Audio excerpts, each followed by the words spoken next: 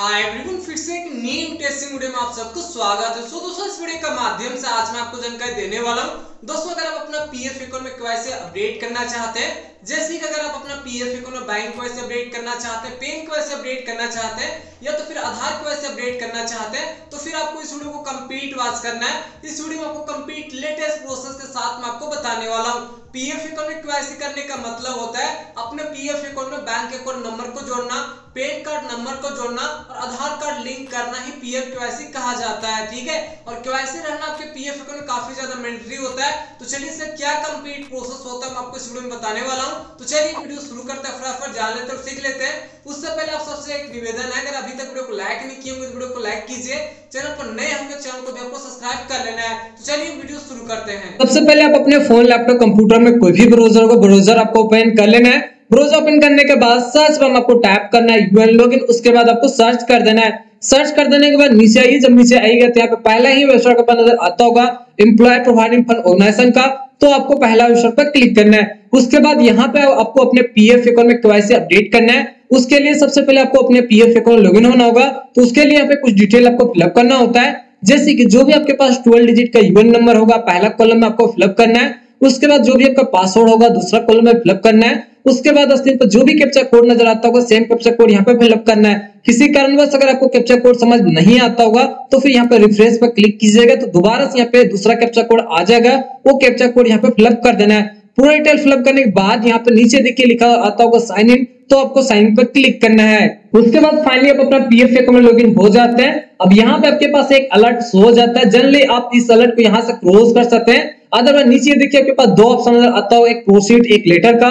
तो आपको लेटर पर क्लिक करना है। उसके बाद यहाँ पे आपको केवाईसी अपडेट करना है। उसके लिए ऊपर में देखिए एक सेक्शन बनाना आता होगा मैनेज का तो आपको मैनेज पर क्लिक करना है। उसके बाद नीचे तीसरा ऑप्शन में नज़र आता होगा केवाईसी तो आपको केवाईसी पर क्लिक करना है। उसके बाद यहाँ पे केवाईसी वाला सेक्शन खुलकर आ जाता है। जैसे कि स्क्रीन पर देख सकते हैं, ऊपर में लिखा हुआ होगा एट केवाईसी उसी के नीचे जो भी आप अपना पीएफ अकाउंट केवाईसी अपडेट करना चाहते हैं, जैसे कि बैंक केवाईसी पेन केवाईसी या तो फिर पासवर्ड केवाईसी वो यहाँ पर नज़र आ जाता है। यहाँ पर मेनली आपको दो ही केवाईसी अपडेट करना है। तीसरा जो यहाँ पर नज़र आता होगा पासवर्ड का, वो ऑप्शनल होता है। अगर आप इसे अपडेट करना चाहेंगे तो कर सकते हैं अदरवाइज़ इसे छोड़ सकते हैं। इससे कोई फ़ायदा की बात नहीं है, ठीक है? तो यहाँ पे मैं आपको पासवर्ड कैसे अपडेट करने का तरीका नहीं बता रहा हूँ। ये ऑप्शनल होता है, करना चाहेंगे कर सकते हैं अदरवाइज़ इसे आपको छोड़ देना है। कोई फ़ायदा की बात नहीं है पासवर्ड कैसे अगर आप अपडेट करते हैं तो ठीक है? लेकिन जो यहाँ पे मेनली तीन क्वेश्चन होता है, पहला तो आपका पेन क्वेश्चन हो गया बैंक कैसे हो गया, आधार कैसे तो चलिए सबसे पहले पेन क्वेश्चन किस प्रकार से करना है वो आपको बता देता हूँ। उसके लिए यहाँ पे पेन पे आपको क्लिक करना है। उसके बाद जो भी आपका पेन कार्ड पे आपका नाम होता है, वो नाम यहाँ पे आपको फिलअप करना है। अदरवाइज़ जो भी आपका पीएफ अकाउंट आपका नाम होता है, वो ऑटोमेटिक फेच कर लेता है। उसके बाद जो भी आपका पेन कार्ड नंबर है, वो आपको पेन कार्ड नंबर यहाँ पे आपको फिलअप करना है।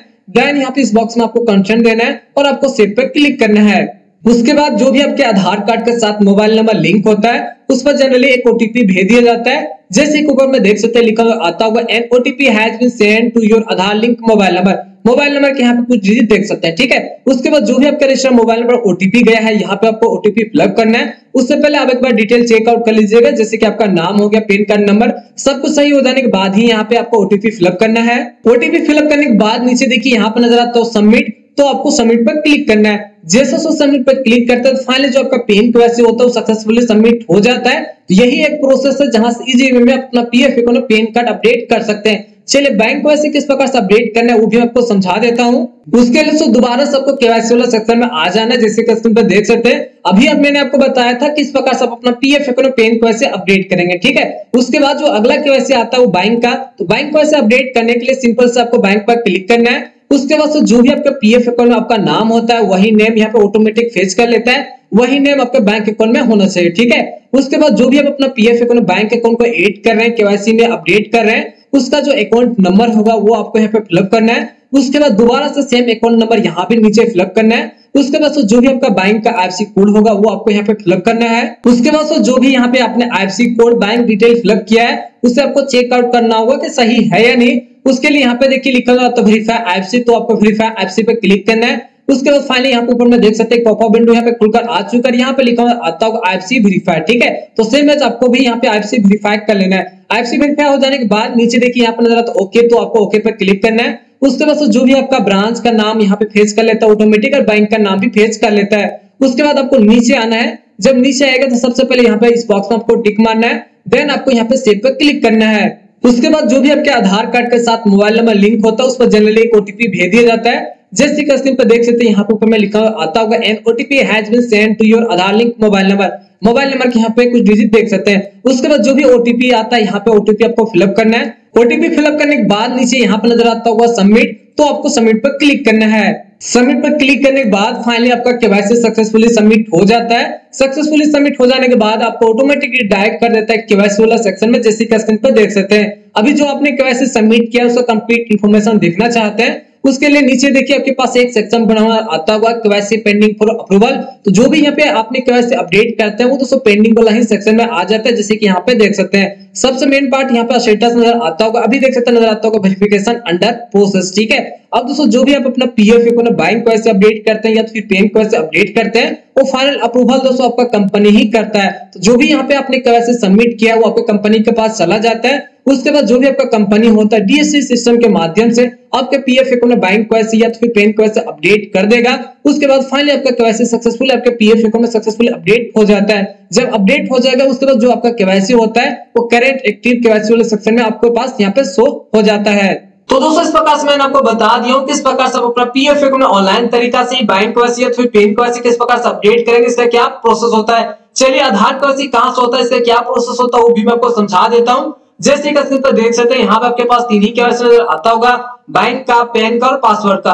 केवल दोस्तों अपना पीएफ अकाउंट लॉगिन होकर के बैंक को ऐसे अपडेट कर सकते हैं पेन को और पासवर्ड को ऐसे अपडेट कर सकते हैं। यहाँ पे देख सकते हैं, कहीं भी आपके पास आधार को अपडेट करने का सेक्शन नहीं है। तो इसका मतलब दोस्तों यही होता है ईपीएफओ की तरफ़ से आधार को ऐसे अपडेट करने के कोई भी ऑनलाइन प्रोसेस नहीं है। केवल एक ही प्रोसेस है। जो भी आपका कंपनी जो भी आपका एम्प्लॉय जो भी आपका ठेकेदार है, उसी के माध्यम से आप अपना पीएफ अकाउंट आधार को अपडेट करा सकते हैं। चलिए इसका मैं एक बार प्रूफ भी मैं आपको दिखा देता हूँ ताकि आपको सब कुछ समझ आ सके। इसके दोस्तों देख सकते हैं पे यहाँ पे पासवर्ड फॉरगेट करने वाला सेक्शन में आ चुका अगर आपके पीएफ अकाउंट का साथ आधार को अपडेट नहीं होता है तो आपका पासवर्ड भी फॉरगेट नहीं होता है। नीचे यहाँ पे देखिए प्रूफ में आपको दिखा रहा हूँ, यहाँ पे लिखा हुआ आता होगा your UN is not link with Aadhaar finally देख सकते हैं, मेरे यूएन नंबर आधार कार्ड के साथ लिंक नहीं है। First member has to link his Aadhaar ठीक है? मतलब सबसे पहले आप अपना यूएन नंबर के साथ आधार लिंक करें, ठीक है? उसके बाद नीचे देखिए नज़र आता होगा विथ यूएन नीचे यहाँ पे देखिए साफ़ साफ़ लिखा हुआ आता होगा थ्रो हिज हर इम्प्लॉयर साफ़ साफ़ यहाँ पे देख सकते हैं क्या लिखा हुआ है। थ्रो मतलब किसके द्वारा होगा? कहाँ से होगा? तो ही इज़ हर एम्प्लॉयर जो भी आपका कंपनी जो भी आपका नियुक्ता है, वहीं से दोस्तों आप अपना पीएफ अकाउंट में केवल और केवल अपना आधार कार्ड से अपडेट करा सकते हैं, ठीक है? तो दोस्तों इस प्रकार से मैंने आपको डिटेल में समझा दिया कि इस प्रकार से आप अपना पीएफ अकाउंट कैसे अपडेट करेंगे इससे क्या कंप्लीट प्रोसेस होता है आशा करता हूँ वीडियो आपको अच्छा लगा हो तो वीडियो को लाइक कीजिए, चैनल पर नए होंगे चैनल को भी आपको सब्सक्राइब कर लेना है। किसी प्रकार से डॉट कंफ्यूजन या फिर कोई भी प्रॉब्लम आता होगा डायरेक्ट आप कमेंट कीजिए, ठीक है? तो चलिए फिर से मिलते हैं एक नए इंटरेस्टिंग वीडियो के साथ। तब तक जय हिंद, जय भारत।